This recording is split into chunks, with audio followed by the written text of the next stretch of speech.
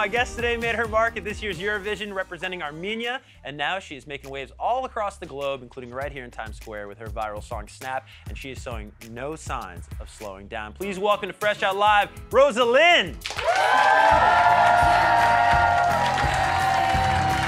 How are you? Coming by. Hi guys. Oh my god. You feeling the love in New York City? I am. I'm in love with New York City. Uh, that's my first time here and it's wonderful. Wow. So what have you been doing? I saw your Instagram. You've been taking some pictures of like you know the scenery, but have you done anything like Uh, touristy? I honestly just walked a lot. Okay. Uh, yesterday I had my first slice of pizza Oh, nice. Not ever, just in New York. in New York. Okay. How was it? Yeah. It was great. Very, very great. Did you go like fancy or dollar slice? Uh, I did. What was it called? Regular, degular slice. I don't, Okay. I don't know. All right, I, yeah. I was just like, give me some regular, degular. You sound very New York right now. um, but uh, you- you're from Armenia, and I, I have uh, some friends from Armenia, and they were telling me to ask you about this meat pie. I guess is a delicacy. Is it a lahmacun? Is that how I say that? Lamajo? lahmacun. Exactly. I butchered Oh God. it. A regular, degular lahmacun. Is that? Yes, how I say it? that's how you say it there. Is it good? I'm gonna eat a lot of it when I'm back home. I'm actually gonna back home in a week. Oh, I'm wow. very excited.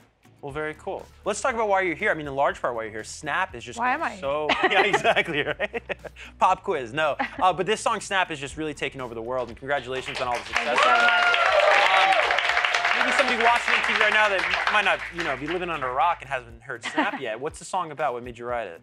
Well, um, when I was 18, I fell in love so deeply, and it lasted for kind of a, a long time. And um, you know, I was in my bedroom going through a lot. Um, and and it, it's uh, funny because Snap is not it's not funny, but um, Snap is not only about love, but it's also about you know mental health and kind of like dealing Yeah. with all that.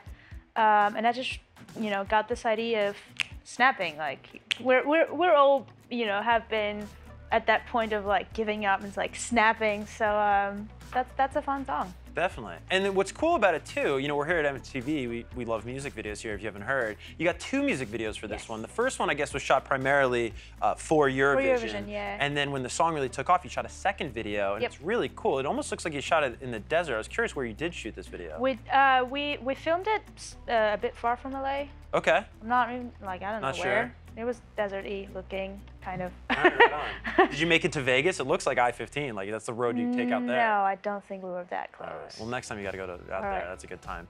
Um, but what's like this the story behind the video?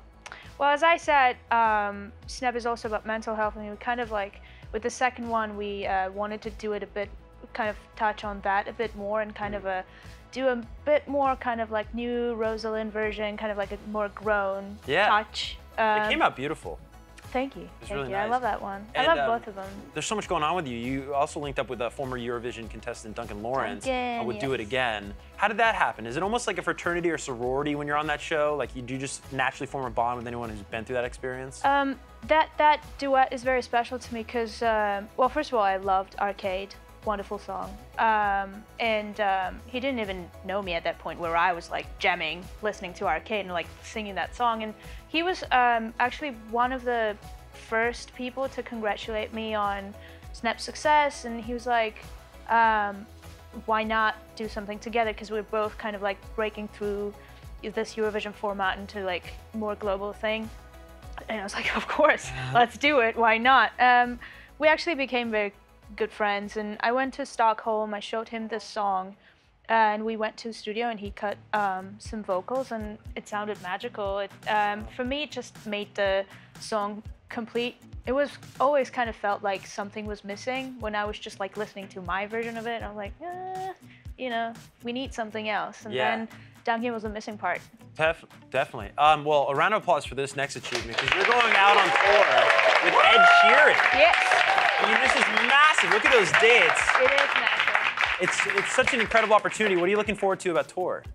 first of all, just meet Ed because I admire um, his talent and his um, songwriting um, skills, and just uh, you know, um, also of course singing in arenas and stadiums. Oh, that's my passion. Honestly, that's that's just why I do this whole thing, just to be on stage and perform for um, people and um, Yeah. feel that energy.